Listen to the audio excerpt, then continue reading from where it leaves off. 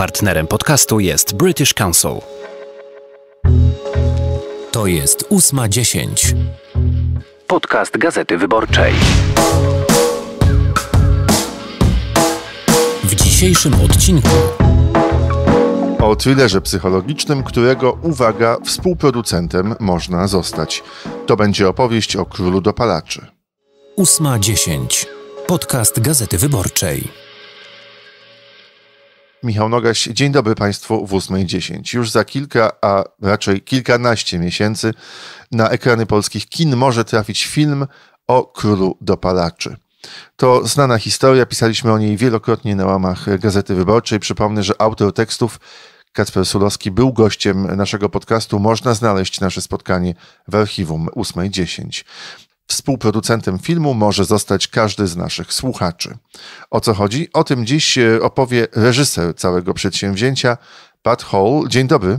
Dzień dobry, Pat. Chciałem zapytać, skąd wziął się pomysł na ten film? Może od tego zacznijmy.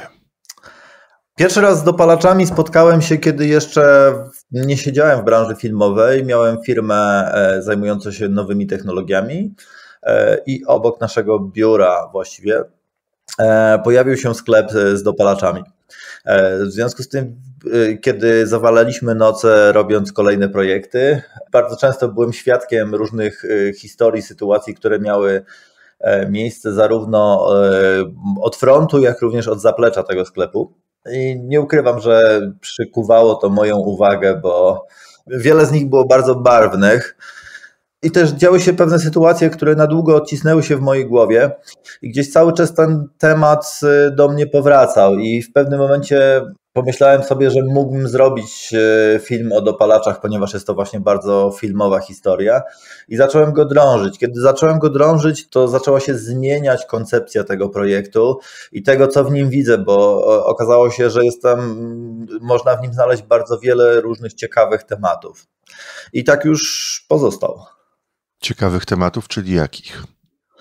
Na początku oczywiście e, gdzieś pociągała mnie cała brawura związana z tym filmem. E, historia spektakularnej kariery, ale im głębiej w to wchodziłem, robiłem mocniejszy research, to docierała do mnie wielowymiarowość całego tematu, tego dlaczego ludzie wchodzą w, w dopalacze, zarówno po jednej, jak i po drugiej stronie, e, kim są ci ludzie, którzy wchodzą w ten biznes, e, jakie mają motywacje.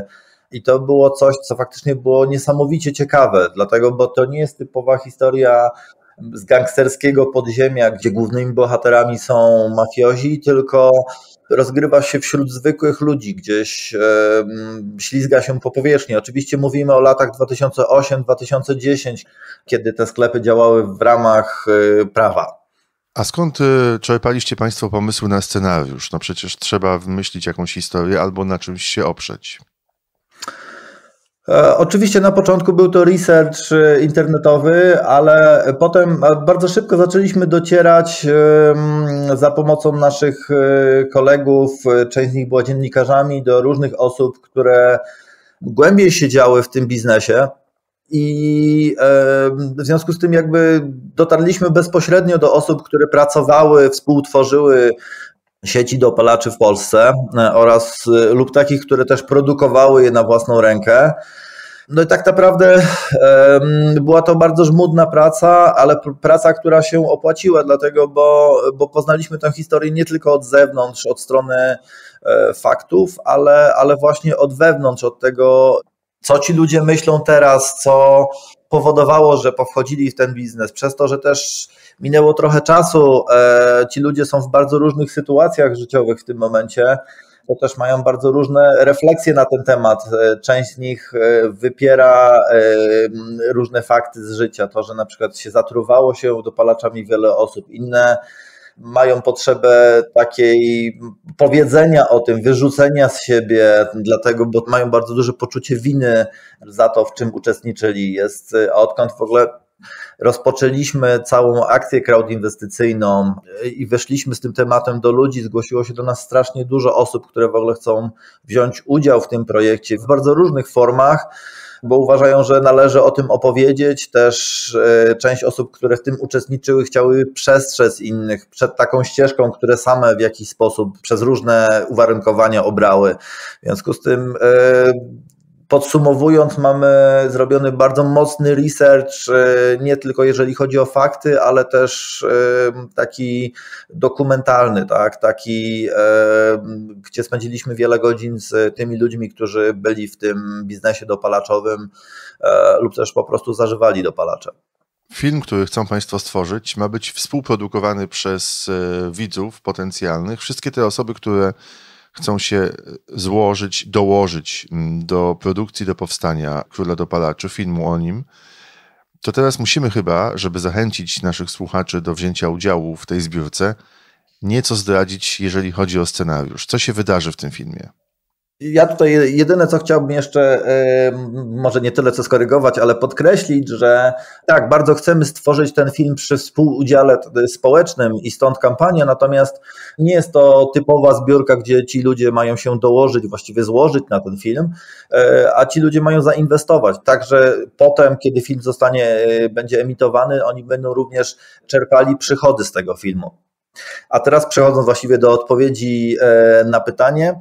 Król dopalaczy to historia wchodzącego w dorosłość chłopaka, e, który musi się zmierzyć z bardzo dużym e, obciążeniem, które na niego spadło.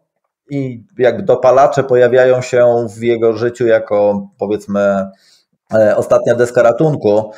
Natomiast bardzo szybko go ten biznes zaczyna wciągać i potem jakby całkowicie odmienia jego życie. I na końcu, można powiedzieć, nasz bohater e, przez dopalacze traci wszystko to, co chciał osiągnąć dzięki dopalaczom, czyli miłość, pieniądze. To tak w skrócie, jeśli chodzi o historię. Dobrze, to teraz zapytam jako osoba, która mogłaby być potencjalnie zainteresowana wsparciem, dofinansowaniem, zainwestowaniem. Dlaczego powinienem? Po pierwsze, jakby będzie to wspaniała historia filmowa, ale też e, to, co mi się wydaje jest niezwykle ważne, jest to bardzo ważny temat społeczny. Jak zaczęliśmy robić research pod kątem tego filmu, to przeraziła nas skala tego problemu, który e, wraz z spektakularnym zamknięciem sklepów w 2010 roku zszedł do podziemia i e, jednocześnie zszedł z pierwszych stron gazet. O ile w 2010 roku tak naprawdę cały czas mówiło się o dopalaczach, to w chwili obecnej ten problem bardzo rzadko występuje e, w mediach. A jak się okazuje, jego skala jest znacząco większa niż była wtedy. Przykładowo, dane pokazują, że w 2017 roku e, było ponad 7 razy więcej przypadków zatruć e, dopalaczami niż w roku 2010, kiedy wszyscy o tym mówili.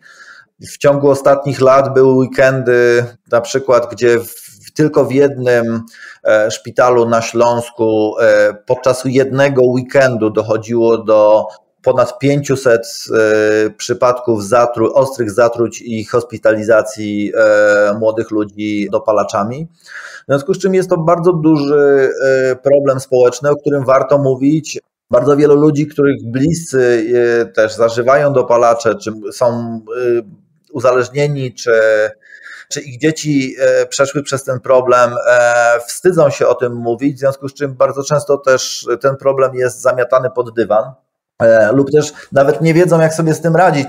Część ludzi nawet nie ma świadomości, co kryje się za kolorowymi opakowaniami, w związku z tym jest to historia, którą warto opowiedzieć, żeby e, poruszyć pewien problem, żeby on przedostał się do świadomości e, społecznej. W związku z czym to jest ten wymiar społeczny. W ogóle film Król Dopalaczy powstaje jako pierwszy projekt w Polsce pod hasłem filmu społecznie odpowiedzialnego, gdzie wraz z Fundacją Avalon e, chcemy zadbać o pewnego rodzaju normalizację osób e, z niepełnosprawnościami e, na ekranie, ponieważ kiedy w Polsce niepełnosprawność nie jest tematem filmu, takie osoby niepełnosprawne są właściwie wygumkowywane z, z ekranu. Ma to być pierwszy film w Polsce, gdzie chcemy zadbać o ekologię, gdzie w tym momencie bardzo zwracamy e, uwagę na równe traktowanie ludzi, a ostatnio mamy e, dość mocno słyszymy o, o historiach przemocy fizycznej czy psychicznej, które miały miejsce w branży filmowej, w związku z czym jakby jest to pierwszy film w Polsce, który ma powstać w duchu odpowiedzialności społecznej. E, dlatego też warto, naszym zdaniem, warto e, wspierać takie e, inicjatywy, jak również z drugiej strony pod kątem biznesowym jest to projekt, który jest, ma bardzo dobre fundamenty biznesowe. No właśnie, wejdę panu w słowo, dlatego że to jest ciekawe, czego się dowiedzieliśmy dzisiaj w 8.10. Nie chodzi o to, żeby dać pieniądze na film, tylko żeby w niego zainwestować. Co to znaczy dokładnie? Spółka Król Dopalaczy Film na portalu crowdway.pl e, w tym momencie e, jest na etapie takiego pre-launchu kampanii. E, kiedy rozpocznie się właściwa kampania, będziemy emitować akcje filmu i osoby, które będą zainteresowane, będą miały możliwość zakupu takich akcji. W ten sposób będą stawały się współwłaścicielami, czyli współproducentami filmu. My natomiast za zebrane pieniądze, nie tylko za zebrane pieniądze, dlatego, bo pieniądze, które chcemy y, pozyskać w emisji, będą stanowiły y, około połowę budżetu filmu. Kiedy zrealizujemy film, on następnie trafi do dystrybucji, to osoby, które zakupiły akcje, będą czerpały przychody z tego filmu, y, tak jak wszyscy inni współproducenci. I w ten sposób będą też mogły zarabiać tak jak wszyscy inni na filmie. Żeby zachęcić potencjalnych współudziałowców, współproducentów, e, czas by powiedział Pan o tym, kto w tym filmie wystąpi i jaki jest e, pomysł na obsadę, a także na przykład na ścieżkę dźwiękową. Kogo można się spodziewać w Królu Dopalaczy? W roli głównej wystąpi Tomek Włosok, który to e, ostatnimi czasy przebojem zdobywa polskie ekrany.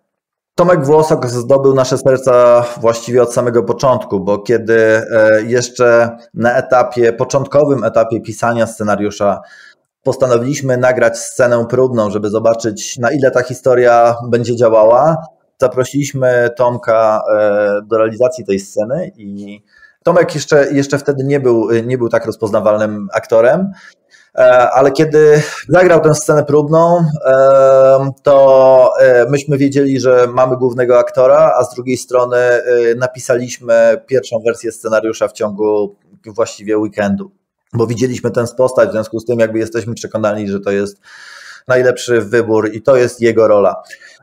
Głównym antagonistą będzie Łukasz Simlat, świetny polski aktor. Główną rolę kobiecą e, zagra Weronika Rosati. Na ekranie zobaczymy też e, Maćka Musiałowskiego, Ewę Wencel, młodą aktorkę Zuzię Groszyńską. E, będzie jeszcze kilka głośnych nazwisk, ale w tym momencie jeszcze mm, nie mogę o tym powiedzieć. Tak, ścieżka dźwiękowa jest, y, będzie bardzo istotną częścią tego filmu i tutaj do projektu zaprosiliśmy Hanie Rani, e, wybitnie utalentowaną e, polską kompozytorkę. Mamy plan z Hanią stworzyć coś, czego jeszcze nie było w jej e, repertuarze, ale tutaj wydaje mi się, że o tej części powinna powiedzieć więcej Hania. No dobrze, ale nie ma jej z nami dzisiaj. Myślałem, że coś pan zdradzi. Nie chciałbym wchodzić w jej w kompetencje.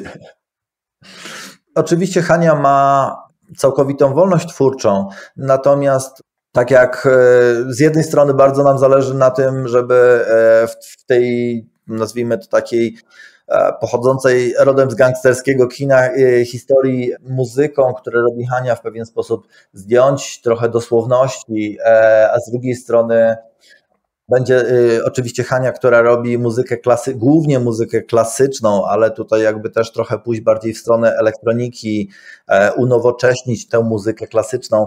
Czas pokaże jeszcze, y, jak ostatecznie będzie to wyglądało, natomiast wydaje mi się, że mamy z Hanią tutaj wiele, wiele pomysłów, jak, y, co możemy zrobić. Na zakończenie więc pytanie o kalendarz prac y, nad filmem. Ile czasu mają ci, którzy chcieliby zainwestować, dołożyć się do produkcji filmu, a kiedy zgodnie z Państwa kalendarzem ruszą prace nad Królem Dopalaczy? W chwili obecnej jest zapowiedź e, kampanii e, na portalu crowdway.pl Gdzieś około połowy miesiąca planujemy ruszyć z emisją akcji, ze startem kampanii i wtedy ci, którzy będą chcieli wziąć udział w projekcie, będą mieli okazję zostać właśnie współproducentami. I um, jeżeli chodzi o zdjęcia, to, e, to w tym momencie już trwają przygotowania, bo e, mamy zebraną dużą część kapitału e, i wierzymy, że ta powiedzmy sobie kampania e, się powiedzie, bo wszystkie e, znaki na niebie i ziemi o tym e, mówią.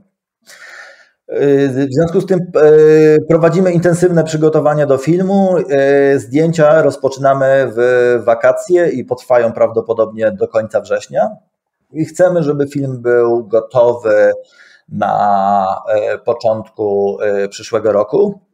Wtedy chcielibyśmy, żeby mamy takie nadzieję, że uda mu się trafić na jeden z dużych festiwali filmowych, a następnie trafi do dystrybucji kinowej lub też na platformę. To będzie w zależności od tego, jak będzie wyglądała sytuacja pandemiczna, E, i to ustalimy z naszym dystrybutorem. E, natomiast e, wszystkie też znaki mówią, nam, że jednak po wakacjach będziemy się zbliżali do końca tej pandemii, biorąc pod uwagę sytuacje szczepionkowe.